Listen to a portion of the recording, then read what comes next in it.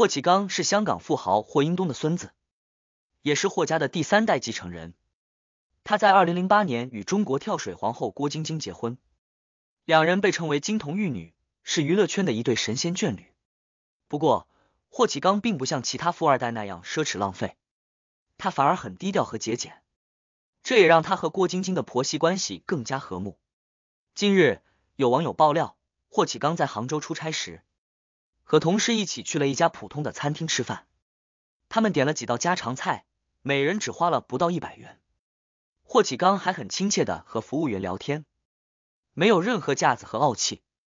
网友拍下了霍启刚吃饭的照片，并且赞叹道：“霍启刚真是一个有教养的富二代，不愧是郭晶晶的老公。”事实上，这并不是霍启刚第一次展现出自己的低调和节俭。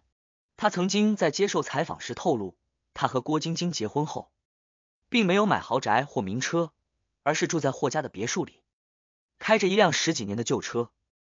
他说：“我觉得没有必要买那些东西，我们只要过得开心就好了。”他还说：“我不想让我的孩子们觉得钱很容易赚，我要让他们学会努力和节俭。”霍启刚的这种性格和生活方式，也让他和郭晶晶的婆媳关系更加融洽。郭晶晶的婆婆是霍英东的次子霍震霆的夫人陈丽华，陈丽华也是一个非常低调和节俭的人。她曾经说过：“我不喜欢穿名牌衣服或戴珠宝首饰。”我觉得那些都是浪费钱。他还说，我很欣赏郭晶晶的性格和能力，她是一个很好的儿媳妇。陈丽华和郭晶晶经常一起出席公开活动或慈善活动，两人的关系十分亲密。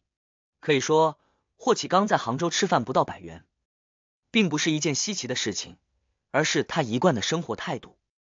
他不仅赢得了网友们的尊敬和喜爱，也让郭晶晶和他的家庭更加幸福。